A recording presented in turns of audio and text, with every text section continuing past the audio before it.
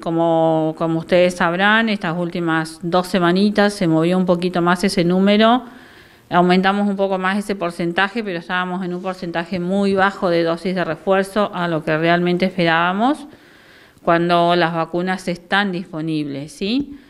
Eh, así que, bueno, seguimos eso, lo, vamos por el, ya promediando el invierno, y la idea es ya tener eh, todos los refuerzos, inclusive ya estamos hablando hasta de un segundo refuerzo o una cuarta dosis.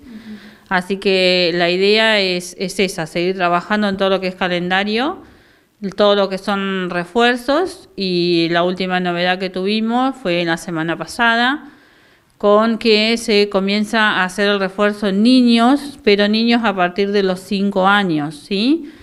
Cuando nosotros arrancamos a vacunar, vacunación pediátrica, empezamos a partir de los 3, pero los refuerzos están indicados a partir de los 5 años porque hay estudios que así lo, permiten. Entre los 3 y los 4 todavía no vamos a hacer refuerzo, pero sí a partir de los 5 años. Y de ahí en adelante estaríamos reforzando a toda la población, porque recuerden que población adolescente ya estamos reforzando y todo lo que son adultos mayores de 18 también. El único requisito es que hayan pasado cuatro meses o 120 días. Con respecto a los niños, eh, ellos qué esquemas de vacunas deberían haberse colocado para poder acceder a este primer refuerzo de, de, COVID. Bien, cuando nosotros arrancamos a vacunar niños, arrancamos con la vacuna Sinopharm, que se acuerdan en su momento era la única aprobada para poder eh, vacunar niños. Después se incorporó la vacuna Pfizer y la vacuna Moderna, que también podemos hacerla como primera dosis.